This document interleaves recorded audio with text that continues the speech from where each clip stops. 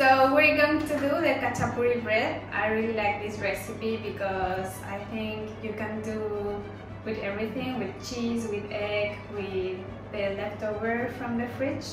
So it's very easy. I think there are ingredients that we all have in the house. So we need 300 grams of flour, uh, half of teaspoon of salt, one teaspoon of sugar, one teaspoon of dry yeast, 80 milliliters of warm milk and 100 milliliters of water. Uh, from one side you will uh, mix the flour with the salt and in the other bowl you will mix the sugar with the dry yeast, warm milk and um, warm water. So when you have all that mixed, you incorporate everything and you make the dough. When it's soft, you have to leave it for one hour. If you like it lighter, you can leave it for two hours. You will see that will double or maybe three times its size. So when you have it, I already have it here. You will see that it's very, very fluffy. With this recipe, you can do like for four persons, two, it depends how hungry you are. You take out all the dough, that now it's very very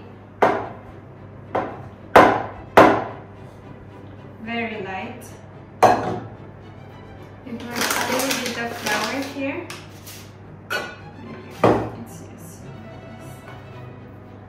And you would cut, cut it into very easy, like this. So we can do two, two shapes, two breads. And you start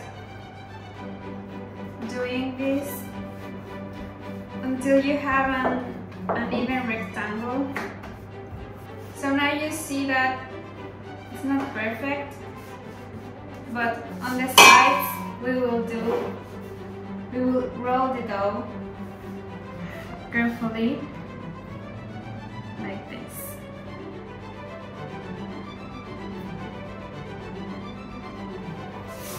Same on the other side.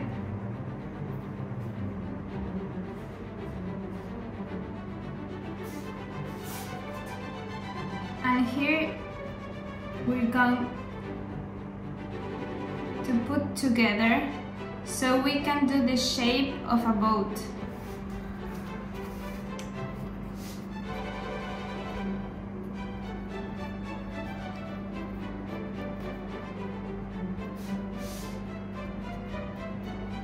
When we have our boat ready,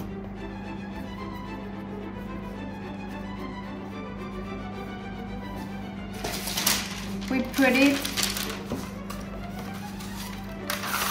on um, parchment paper and we cover it for one hour so it can proof again. Meanwhile, you will mix the, all the cheeses you have in your house. In this case, I put manchego cheese and parmesan cheese. We're going to add milk, a little bit.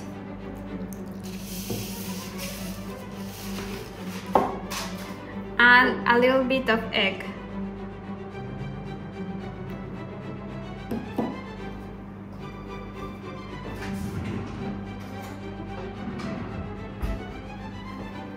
This is going to be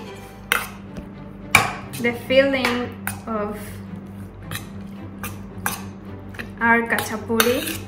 You can put everything you want here, but this is like a simple original recipe. I like to put sometimes pepper, so I will put a little bit of pepper. So you make this thing like if we're creating a dough then I will add the pepper.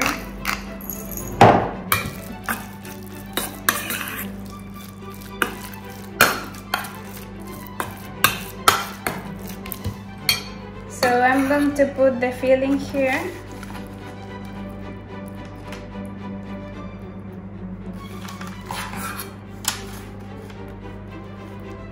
we don't have to worry about if it's going to fill out because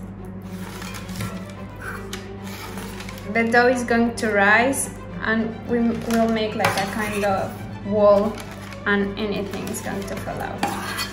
So like this we put it in the oven at 190 for 20 minutes more or less.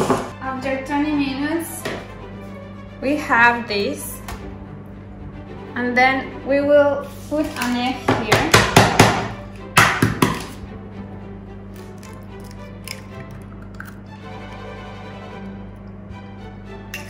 so this will finish to cook in the oven and then we will see how how it's done.